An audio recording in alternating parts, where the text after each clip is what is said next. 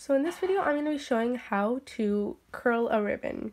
You need a ribbon and scissors.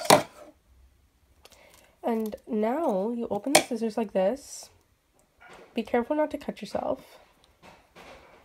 And all you do is this. So you have to take the scissors and then put it over the ribbon like this. Like that.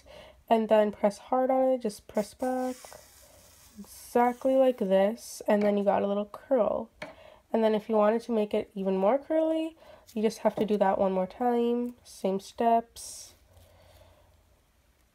Put the ribbon I mean put the scissor over. Do that and then you have a really really really curly ribbon. Like so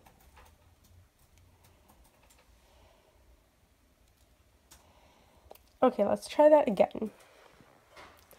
What you need to do is get a ribbon. It doesn't matter how much it, like how the size is, how much the size is. You just have to take a ribbon and then do it. Like this. And then you want to take your scissors again. Make sure you do this. Make sure you don't cut yourself and then you want to do that.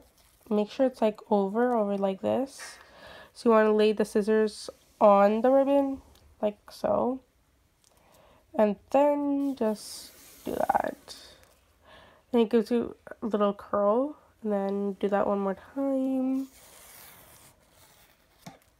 Gives you a big curl. Oh it's over here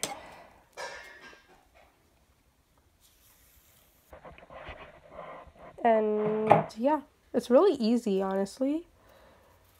But make sure you're careful with the scissors because you don't want to cut yourself. It's so cool.